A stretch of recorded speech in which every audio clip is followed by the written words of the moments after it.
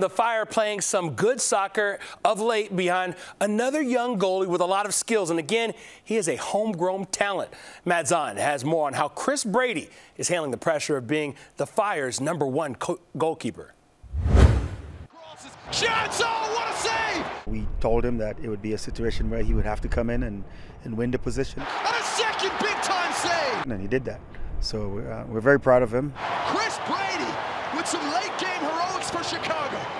At just 19 years old, Chris Brady is the starting goalie, not just for a Major League Soccer team, but for the Naperville native, it's his home team as well. It's an honor, and I think throughout my entire childhood I was working for this. Um, and uh, to now say that I am is uh, it's a crazy feeling. Still doesn't really feel real. Brady isn't really exaggerating when he says he spent much of his childhood working towards this moment. Brady joined the Fire Academy back in 2017 and then signed his first professional contract with them in 2020 when he was still only 16 years old. And what's it like when you signed that first professional deal at just 16 years old? Crazy, crazy. A rush of emotions for me and my family and all my friends. Um, but yeah, like I said before, it's just uh, purely an honor.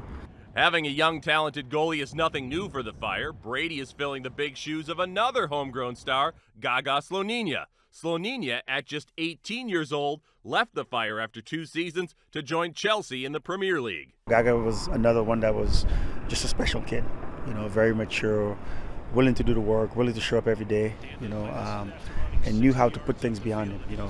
And, and we see Chris uh, as a similar type of maturity, uh, that ability to just forget about the last play. Uh, he kind of set the tone for what's expected of young keepers in Chicago, um, and he helped me see that there are a lot of sacrifices that uh, need to be made in order to, you know, one attain this job, but also to uh, excel in this position, and then hopefully one day maybe make it to where he is. Brady does already have experience on the international level, including earning best goalie honors at the under 20 CONCACAF championship last summer, and his goal is to one day play for the U.S. senior men's national team.